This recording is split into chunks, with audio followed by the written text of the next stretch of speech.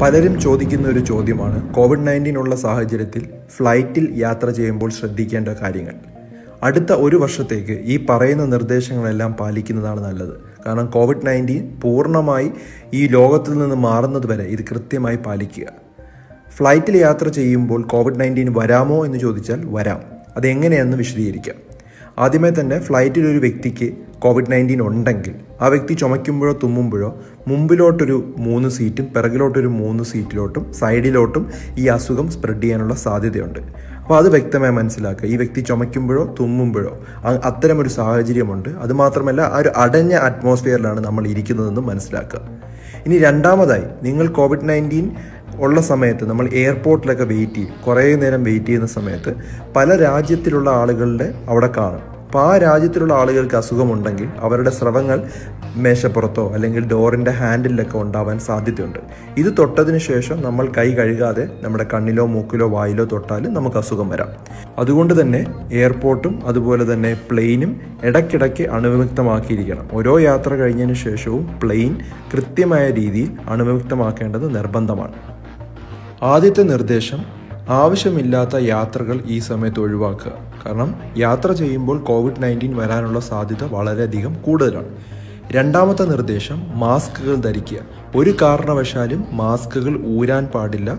യാത്രയ്ക്കുടനീളം നമ്മൾ മാസ്കുകൾ ധരിച്ചിരിക്കണം.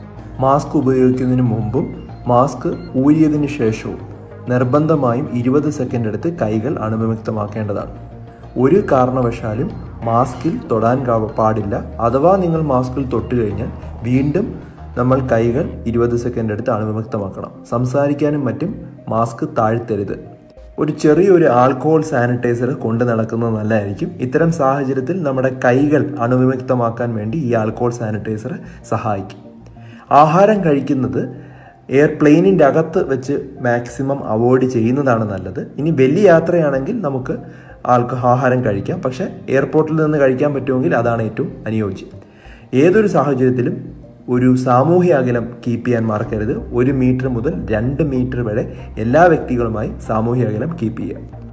യാത്ര കഴിഞ്ഞ് വീട്ടിലെത്തി കഴിഞ്ഞാൽ ആദ്യം ചെയ്യേണ്ടത് സോപ്പും ഷാമ്പുവും ഉപയോഗിച്ച് കുളിക്കുക. അതിനുശേഷം ഇട്ട വസ്ത്രങ്ങൾ ഒരു ചൂടുവെള്ളത്തിൽ ഡിറ്റർജന്റ് ഇട്ട് കഴുകിയെടുക്കുക. അന്താരാഷ്ട്ര വിമാന സർവീസ് തുടങ്ങിയാൽ പ്രവാസികൾ നിർബന്ധമായും അറിഞ്ഞിരിക്കേണ്ട കേരളത്തിന്റെ മാർഗനിർദ്ദേശം വിവരിക്കാം. ആദ്യമായി തന്നെ ഏകദേശം മൂന്ന് മുതൽ അഞ്ചര ലക്ഷം ആളുകളെയാണ് ആദ്യത്തെ മാസം തന്നെ നമ്മൾ കേരളത്തിൽ എക്സ്പെക്റ്റ് ചെയ്യുന്നത്. അപ്പം അതുകൊണ്ട് തന്നെ നിർബന്ധമായും ഈ കാര്യങ്ങൾ നിങ്ങൾ അറിഞ്ഞിരിക്കുകയും പ്രവർത്തിക്കുകയും ചെയ്യുക. കോവിഡ് ടെസ്റ്റ് ആണ് ആദ്യം ചെയ്യേണ്ടത്. അതിന്റെ അകത്ത് കോവിഡ് നെഗറ്റീവ് ആണെങ്കിൽ മാത്രമേ നമുക്ക് യാത്ര ചെയ്യാനായിട്ട് കഴിയുകയുള്ളൂ. അത് എത്ര ദിവസം മുമ്പ് ടെസ്റ്റ് ചെയ്യണം എന്നുള്ളത് സർക്കാർ അറിയിക്കും. രണ്ടാമതായി ചെയ്യേണ്ടത് നോർക്ക വെബ്സൈറ്റിൽ നിങ്ങളുടെ പേര് രജിസ്റ്റർ ചെയ്യണം. W W W dot Norka Roots dot ഓർഗാണ് ആ വെബ്സൈറ്റ്. അതിൽ പോയി നിങ്ങൾ പേര് രജിസ്റ്റർ ചെയ്യണം. ഈ പേര് രജിസ്റ്റർ ചെയ്യുന്നത് ക്വാറന്റൈൻ അറേഞ്ച്മെന്റ് ചെയ്യാൻ വേണ്ടിയാണ്. അല്ലാതെ ടിക്കറ്റ് എടുക്കാനോ അല്ലെങ്കിൽ ടിക്കറ്റിന് മുൻഗണന ഒന്നും കിട്ടുകയില്ല. ആർക്കാണ് കൂടുതൽ വരാൻ സാധ്യതയുണ്ടെന്ന് പറയുമ്പോൾ അല്ലെങ്കിൽ മുൻഗണന കൊടുക്കുന്നത് വിസിറ്റ് വിസയിൽ പോയവർക്ക് തിരിച്ചു വരാനായിട്ട് ആദ്യം പരിഗണന കൊടുക്കും. പ്രായമായവർ അതുപോലെ രോഗികളായിട്ടുള്ളവർ അസുഖമുള്ളവർ കുട്ടികൾ ഗർഭിണികൾ അതുപോലെ വിദ്യാർത്ഥികൾ അവിടെ പഠിച്ചിട്ട് മടക്കം യാത്ര വെയിറ്റ് ചെയ്തിരിക്കുന്ന ആളുകൾ ഇത്തരം ആളുകൾക്കാണ് മുൻഗണന നൽകുന്നത്. എയർപോർട്ടിൽ ഒരു സ്ക്രീനിങ് ഉണ്ടാവും. വളരെ വ്യക്തമായിട്ടുള്ള സ്ക്രീനിങ് അസുഖമുണ്ടോ മറ്റും അവിടെ വെച്ച് ചെക്ക് ചെയ്യും. രോഗലക്ഷണങ്ങൾ നെഗറ്റീവ് ആണെങ്കിൽ നിങ്ങളോട് ഹോം ക്വാറന്റൈൻ നിർദ്ദേശിക്കും. ദിശ എന്നുള്ള നമ്പറിലിട്ട് ഡയറക്റ്റ് കോൺടാക്ട് ചെയ്ത് അവരുമായിട്ട് നിർദ്ദേശത്തിനനുസരിച്ചായിരിക്കും കാര്യങ്ങൾ ബാക്കി തീരുമാനിക്കുന്നത്. പതിനാല് ദിവസം ഹോം ക്വാറന്റൈൻ ചെയ്യണം.